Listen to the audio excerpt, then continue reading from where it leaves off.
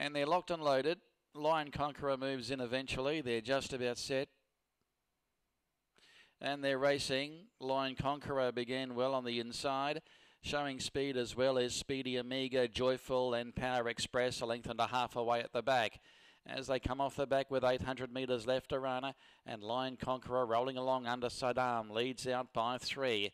Now in second placing is Joyful, racing inside of Power Express, and now Speedy Amiga has dropped back to be last of all as they approach the home turn. 400 metres to run, and on top, and a travelling well, Lion Conqueror. He's building up a pretty handy lead at this stage. He's out by nearly six lengths.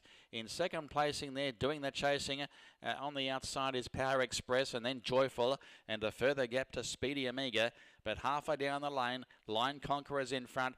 Uh, Power Express eating into the margin gradually. It's only about three lengths away, and Joyful's back on the inside, but Lion Conqueror goes out and leads all the way. Lion Conqueror has won. Uh, second will be Joyful, sneaking up on the inside. Power Express third, and Speedy Amiga was a long and distant fourth.